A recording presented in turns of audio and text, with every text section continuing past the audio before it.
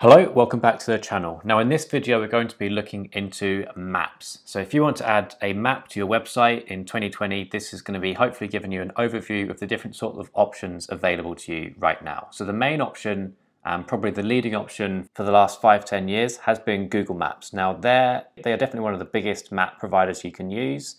They have um, different styles of maps so you can add them quickly to your site. But we'll also look at a, an alternative to Google Maps called Mapbox, which is used by um, Facebook and Snapchat and sort of lots of different apps. You can see down here, um, they have a lot of different sites that are using them. Um, with Google Maps, they are probably still the most used. Big name users of them would be sites like Airbnb and lots of smaller sites as well who use their um, basic map options.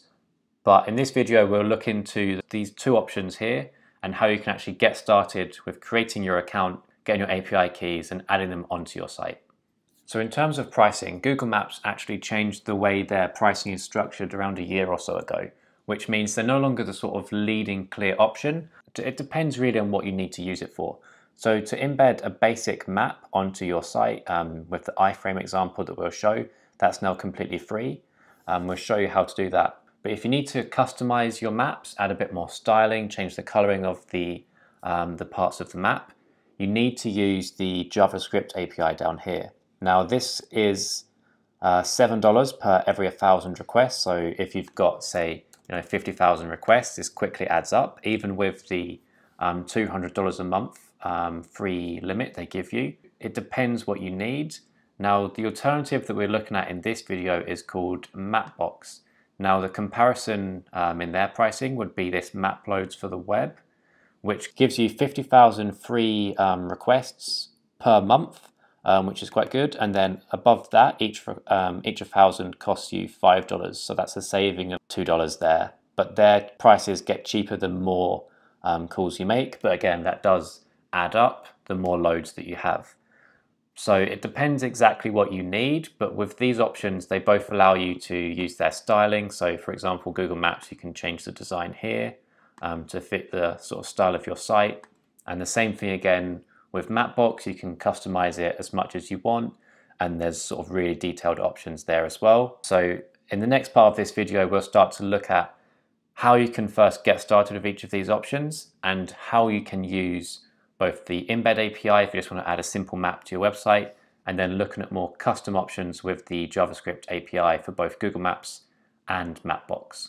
To create your API key, you need to first go to the Google Cloud Platform and either create a new project like this or use an existing project that you have. So if you're creating a new one, just click Create.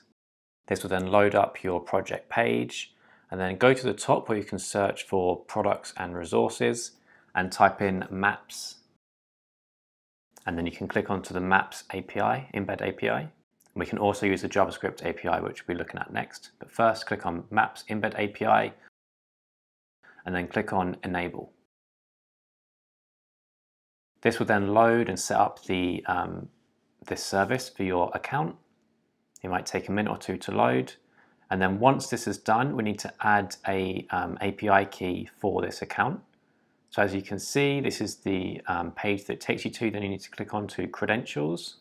And when you're on the credentials page, it will explain that you need to first create a API key. So if you haven't made any API keys yet, you'll need to go to a separate page called Credential APIs and Services, and then click on the Create Credentials button at the top of the page. And then you want to select API key so that you can actually use this in your projects. This will then give you a key that you can use straight away um, in your map for your maps. Then we need to click on restrict key so it can only be used by us. So we can first set a, a number of different ways we can restrict this. So the first one and the best option to use is an HTTP referrer. So in other words, the domain name that it can be used in. So you need to make sure that it's both HTTP and HTTPS. So you can use the star key just there as a wildcard. Then you type in your domain name and then use a wildcard again at the end. But for now, I'm going to remove this just so I can use it on a CodePen for an example. You can also restrict your API key by the types of APIs it's allowed to use. So for example, if we restrict this just by the maps embed type that we've got, so we just search for maps and we can just click on embeds API. And we'll also do this for the JavaScript API as well in a moment.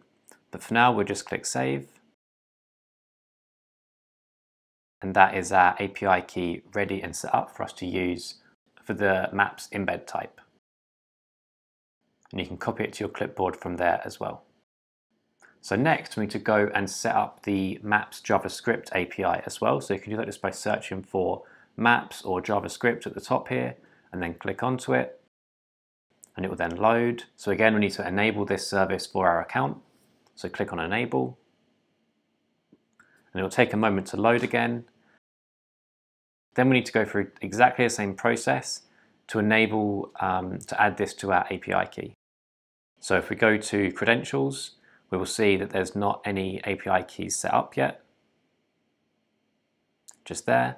But if we go to the credentials and API key services, we can do this. Or if we go straight to our Maps embed API page, we can add it to our same API key rather than creating multiple um, API key. So we go back to credentials again for our embed Maps API. And then we can just click onto our same API key.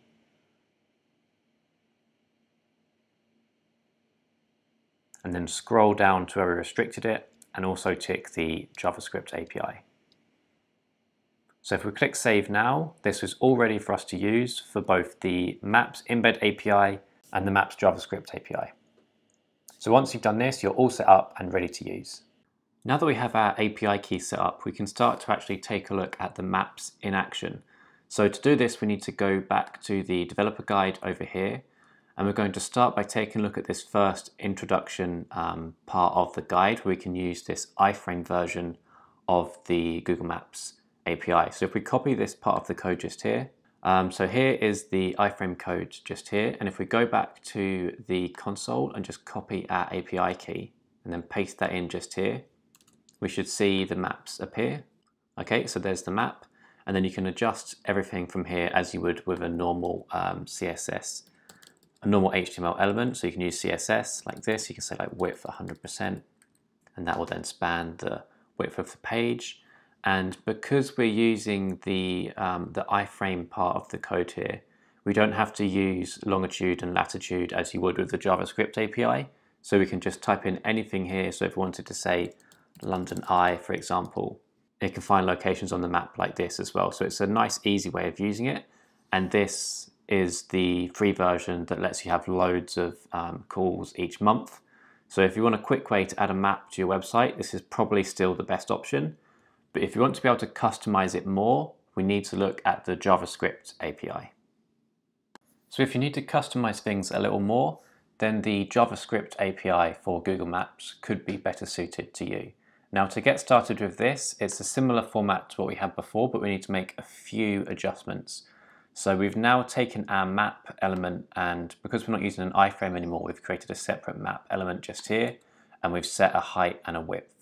We then have our call here to Google Maps further down the page. Now, as you can see, we need to add in our API key again. But the important thing you need to look for here is this callback um, attribute in the, or parameter in the URL. This is set to the init map function just here. So this means once this script is loaded, it's going to make a call to this function. So here's our function just here, which sets the map variable and we're just making sure that we call our actual map. So here I'm using an ID, but you could use a class name if you wanted.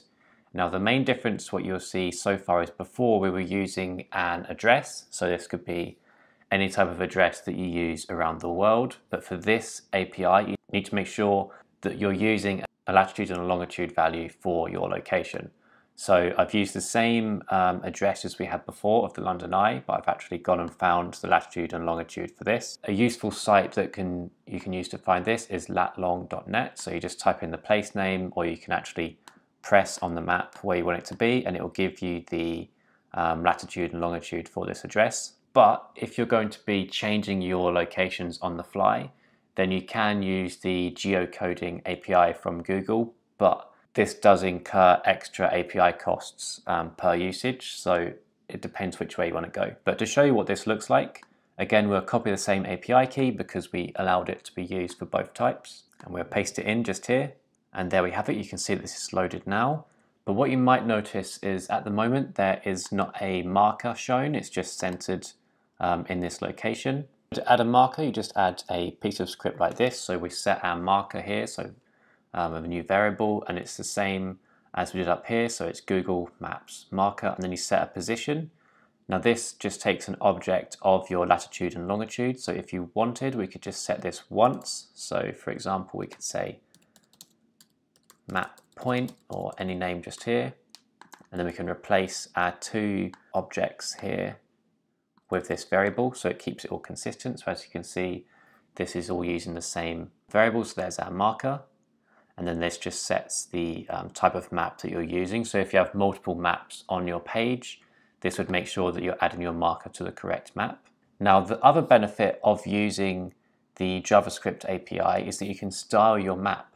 So if you go to mapstyle.withgoogle.com, you can see a selection of different styles. Now we're going to just use one of the um, default themes just here, but you can customize these um, in a number of different ways. Then when you're ready to use it, you just click finish and it will give you all of the code that you need to start using um, this map, uh, this style in your map. So if we copy this and add it to our page, we'll just call it map style. So we've pasted this onto the page and we've put our map style variable just here.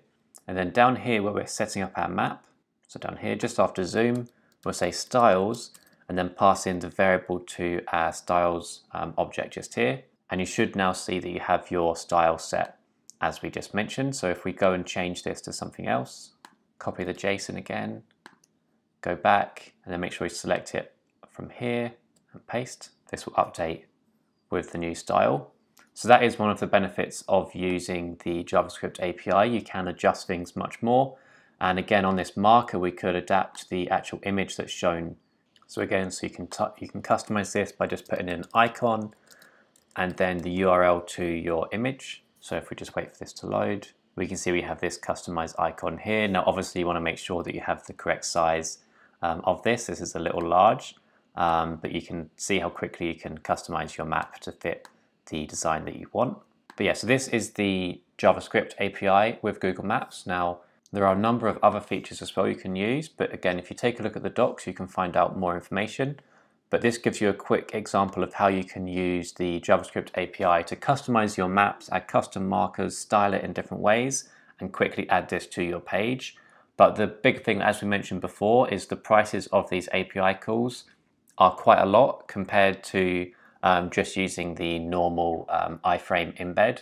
However, as we mentioned, we're also going to be looking at Mapbox as an alternative. So first, let's create an account. We can go ahead and use the default um, access token that we've been created to add a Mapbox to our page. Now you can do this by clicking on the web uh, link just here, and then you can choose between either using the Mapbox CDN or if you're using um, Node, you can use the npm module bundler um, instead, but for this example, we'll use the CDN. This then gives you the JavaScript and CSS files you need to copy and an example um, map script that we can use. So I've copied this so far and added it to our CodePen with a couple of small changes. Now similar to what we did with Google Maps, you can enter a center item just here, which uses longitude and latitude. Now the important thing to note on here as well is that these are the other way around as they were with Google Maps. They had latitude and longitude, whereas Mapbox uses longitude and latitude. You want to watch out for that. And then as well, we have, we have the zoom option just here. Now the thing that makes Mapbox quite interesting is this style parameter just here. Now you can see at the moment this is the default um, styling option. If we go back to the Mapbox dashboard just here, we can actually add our own styles. So if we um, just finish this part just here, and scroll down and go to the studio link, so Mapbox Studio, and click Get Started. This allows us to create our own styles we can use for the map. So if we click New Style just here, we can choose from any of these um, starting points and you can see what they look like just by clicking onto them. So if we start with this one, we'll just customize it a little bit. For example, we can change um, the, the colors that, that water is, just like this, like that you can see and you can go through and change all of the different types that you want. But for this example, we're just going to keep it like this. And again, they have um, documentation and help that you can uh, see over in the corner here if you have a particular style in mind. But for now, we're just going to skip this. And if we click, if we click publish up here, It lets you see the changes that you've actually made. But if we publish this as a new style and then click share, we can see our URL down here. So if we copy this and go back to our CodePen and just change the style that we have here, and this will then update the style that we're using with our new style that we just created. So you can see there, there's the updated style with the uh, blue color for the rivers. So you can see how easy uh, Mapbox is to get started with, but there are the similar issues that we had with Google Maps where you have to get your longitude and latitude. So you need to make sure that you have an extra way of getting the actual longitude and latitude values from an address or a place that you want to use on your maps. And just one last thing on Mapbox as well, you can add markers um, to these maps. So you can see it's very similar again to Google Maps. You just set a marker um, variable just here and set it to new Mapbox GL, similar to up here, and just set this as marker. And then you just have to set the longitude and latitude of your marker, so the location on the map you want it to be, and then just add it to your map. And just make sure this is the same variable as up here. So if I change this to map one, um, like that, that'll make sure that it's still added to the same map. So that is how you can use Mapbox. If you want to have a look at any more specifics, you can find all of this information in the Mapbox docs. So they have more information on markers. Um, you can find examples, um, different properties and options you can use, and um, further like interactions and click events that you can have on your maps. So when you compare both Google Maps and Mapbox, now that you've seen how you can get started in using them in this video, they are quite similar, but it depends on the exact use case that you have in mind. And again, with pricing as well, Mapbox is slightly um, slightly on the cheaper side, but again, if you have lots of um, usage, this goes, does go up quickly. Um, but if you want a simple map that you can add to your site, I'd definitely recommend using the, um, the embed um, iframe uh, option from Google Maps.